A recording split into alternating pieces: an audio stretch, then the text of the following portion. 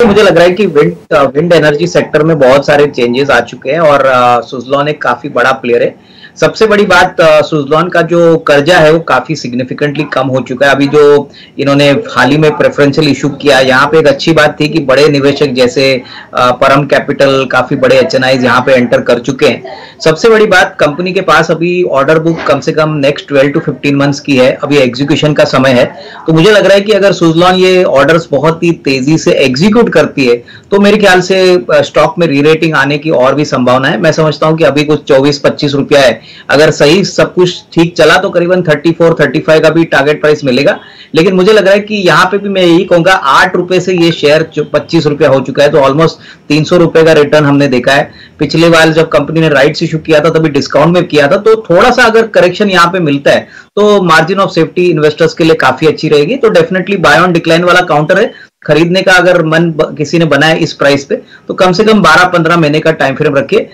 Thirty four thirty five looks to be very much possible based on the data points देखिए बजाज हिंदुस्तान में बहुत समय के बाद एक अपट्रेंड आपको देखने को मिला है। हालाँकि देखिए, ये अर्लियर कर्जा के कारण थोड़ा सा अंडर परफॉर्म कर रहा था। मेरे ख्याल से यहाँ पे भी मैं यही कहूँगा कि फ्रेश खरीदारी लोअर लेवल पे खरीदिए, क्योंकि ऐसे स्टॉक्स में ऑलरेडी हमने 150-200 परसेंट की अपसाइड देखी है। जब भी निवेशक ऐसे स्टॉक्स खरीदता है तो आपको बिगिनिंग ऑफ़ द साइकिल पे यहाँ पे अगर आप एंट्री करें तो आपको मुनाफा ज़्यादा होता है।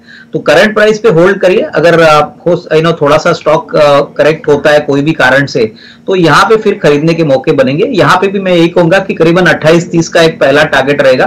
बट यहाँ पे रिस्क रिवॉर्ड तब अच्छा बनेगा जब आप निचले लेवल पे थोड़ा सा खरीदोगे। तब एंट्री लेवल आपके लिए अच्छा पैसा बना के देगी। करंटली जिन्होंने खरीदा है, उनको होल्ड करने की रहेगी ख्याल से देखिए तीनों बैंक्स लंबी अवधि के लिए काफ़ी अच्छे हैं, लेकिन साउथ इंडियन बैंक और धनलक्ष्मी बैंक में हमको लग रहा है कि खरीदने के मौके अभी भी बनेंगे। साउथ इंडियन बैंक में हमको लग रहा है कि देखिए, काफ़ी समय के बाद अच्छा ट्रैक्शन इनके लोन बुक ग्रोथ में, इनके कासा डिपॉजिट्स में प्लस ओवरऑल जो बैंकिंग के मेट्रिक्स है, वहाँ पे देखने को मिला है। तो करीबन उनतीस, तीस का यहाँ पे टारगेट प्राइस आप मान के चल सकते हो साउथ इंडियन बैंक में। और धनलक्ष्मी बैंक में भी हमने देखा है कि ये बेसिकली साउथ बेस्ड बैंक है, इनका ज़्यादातर नेटवर्क साउथ इंडिया में, लेकिन नंबर्स मेरे ख्याल से जून के क्वार्टर में काफ़ी दमदार आ गए तो यहाँ पे भी सत्ताईस, अट्ठाईस का एक टारगेट प्राइस लेके यहाँ पे खरीदे। हालाँकि स्टॉक थोड़ा चला है लेकिन काफ़ी लो प्राइस स्टॉक है और हमको लग रहा है कि आने वाले दो तीन क्वार्टर्स भी काफ़ी मज़बूत रहेंगे। रही बात यस बैंक के ऊपर तो मनीष, देखिए, मुझे लग रहा है कि ये बैंक में बहुत नेगेटिव सरप्राइज़ लोगों को पास में दिया है। इसको रिकवर करने में थोड़ा समय लगेगा।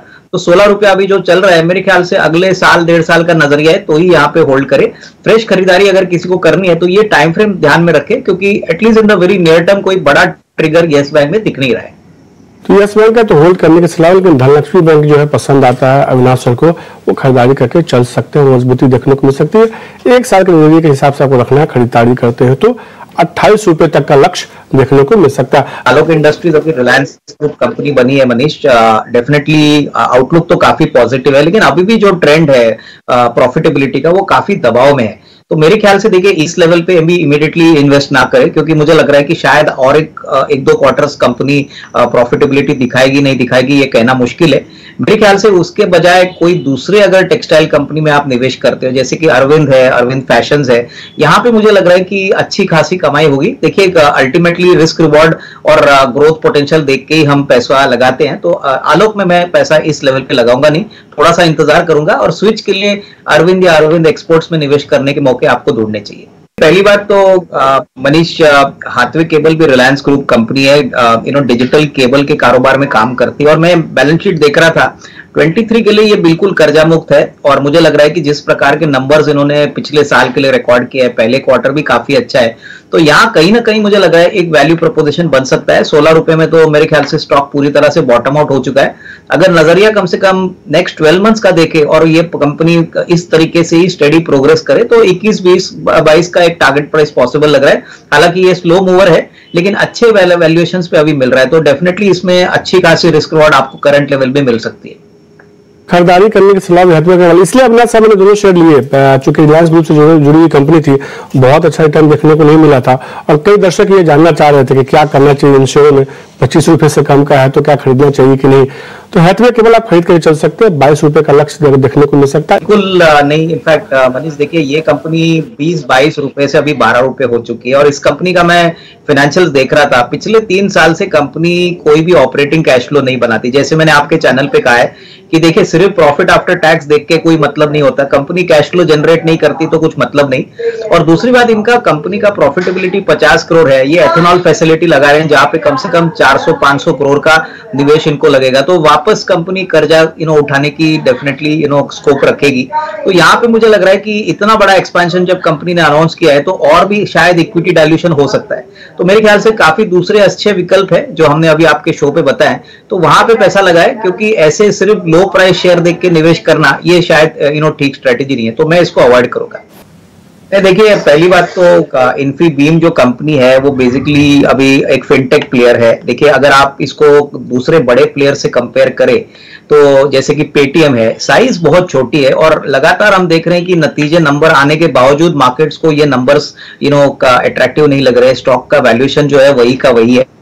तो मेरे ख्याल से देखिए काफ़ी समय से अंडर परफॉर्मेंस अगर कर रहा है तो मेरे ख्याल से आपको कोई दूसरे काउंटर में शिफ्ट करना चाहिए क्योंकि अल्टीमेटली फिनटेक स्पेस में साइज़ और स्केलेबिलिटी इंपॉर्टेंट है। हमको लग रहा है कि मार्केट्स को शायद स्केलेबिलिटी का इश्यू लग रहा है इसीलिए स्टॉक में कोई बड़ी आउट परफॉर्मेंस नहीं, नहीं रही है। कंपनी बिल्कुल कर्जा मुक्त है कंपनी के नंबर्स अच्छे हैं लेकिन फिर भी स्टॉक चल नहीं रहा है। तो मेरे ख्याल से यू नो दूसरे कोई फिनटेक कंपनीज़ में अगर आप निवेश करें तो अच्छा रिस्क मिलेगा। मैं इसको इस प्राइस पे नहीं खरीदूँगा। नहीं, बिल्कुल, देखिए, मैं नंबर देख रहा था, इस कंपनी का नाम श्रीराम ईपीसी है, और मुझे लग रहा है कि, देखिए, जिस प्रकार का परफॉर्मेंस इन्होंने पिछले साल दिखाया था फ़र्स्ट क्वार्टर में दिखाया, और जिस प्रकार की ऑर्डर बुक है, मनीष, मुझे लग रहा है कि आने वाला साल that is F twenty four भी इनके लिए काफ़ी अच्छा रहेगा। हमको लग रहा है कि उन्नीस बीस रुपया टारगेट प्राइस कंफर्टेबली पॉसिबल है, अगर कोई बारह पंद्रह महीने का व्यू लेता है। क्योंकि इस लेवल से तो रिस्क रिवॉर्ड बहुत ही अच्छा लग रहा है, काफ़ी यू नो अट्रैक्टिव लेवल पे स्टॉक है। हालाँकि आपने कहा कि चौवालीस परसेंट बढ़ा है बट अगर आने वाला साल की ऑर्डर बुक और एग्जीक्यूशन देखे तो उन्नीस बीस रुपए के लिए इसमें एक छोटी पोजिशन आप बना सकते हो।